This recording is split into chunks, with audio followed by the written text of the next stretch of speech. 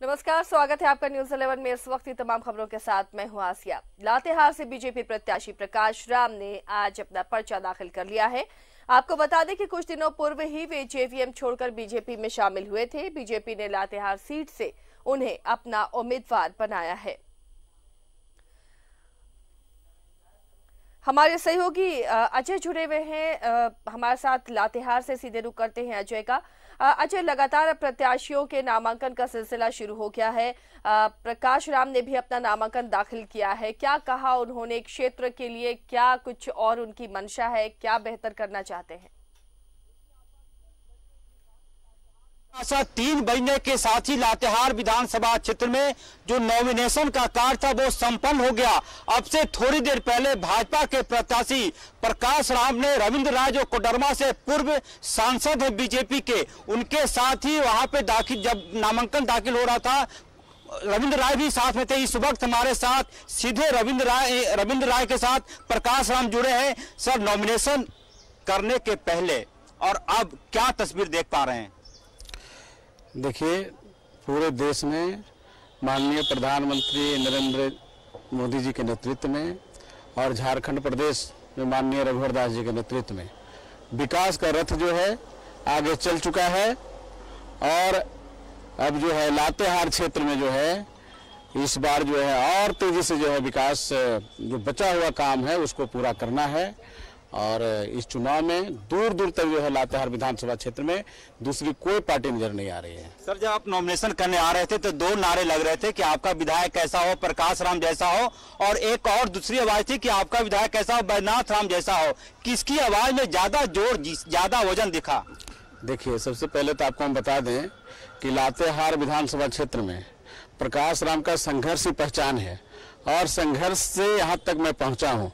और निश्चित रूप से जो है, यहाँ की जनता जानती है कि आज़ादी के बाद लातेहार में जो है, पहली बार जो है, सत्तर सालों में हरेक गाँव में जो है, विकास पहुँचा है।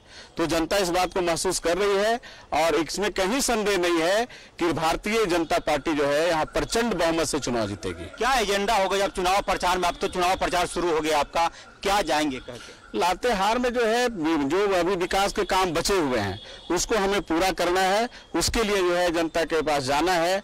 माननीय प्रधानमंत्री नरेंद्र मोदी जी का जो विकास का रथ चला है आपका रघुवर दास जी के नेतृत्व में झारखंड विकास कर रहा है। ये तमाम सवाल हमारे सामने हैं जिसको लेकर के जनता के रविंद्र राज़ी अनुभवी नेता है कुछ गुरु मंत्र लिया उनसे आपने?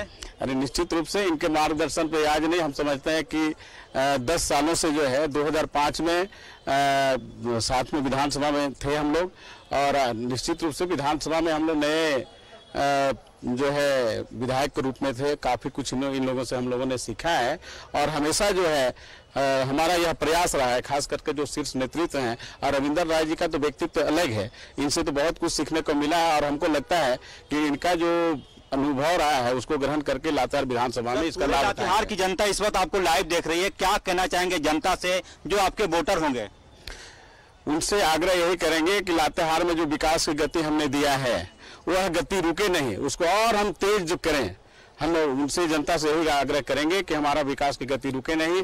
इसको तेज करने के लिए जो 30 नवंबर को जो वोट होना है उसमें अपना वोट डालें। बिल्कुल रविंद्र राज जी हमारे साथ है। सर आप लगातार प्रकाश राम के साथ रहे। जुलूस में जुलूस को आने में एक घंटा से ज़्यादा का वक्त लग गया। क्या कहना चाहेंगे? मुझे बड़ा सुखद आश्चर्य रहा। लातेहार के नामांकन में प्रकाश जी के समर्थन में भारतीय जनता पार्टी के कार्यकर्ताओं का जो उत्साह था, उसमें मैं भविष्य देख रहा था कि यहाँ भारतीय जनता पार्टी इस बार रिकॉर्ड बनाएगी। और लोगों के मन में एक नया उत्साह और आत्मविश्वास से परिपूर्ण उत्साह दिखाई दिया है। और मैं ये मानता हूँ कि 2019 का यह जो चुनाव हो रहा है भारतीय जनता पार्टी जिस काम की बुनियाद पिछले पाँच वर्षों में इस राज्य को बनाने के बाद रखी, उसको जो परिणाम में बदलने का वक्त आया है तो फिर से एक बार बहुमत की सरकार हम झारखंड में बनाएँगे।